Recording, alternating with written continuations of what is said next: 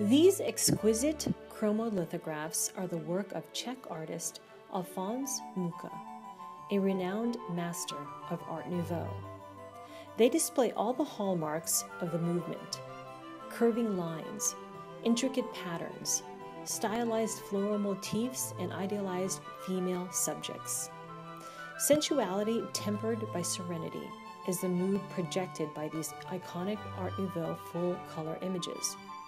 Titled La Primavera and La Plume, the two antique prints are offered together in one lot, estimated at 1,500 to $2,000.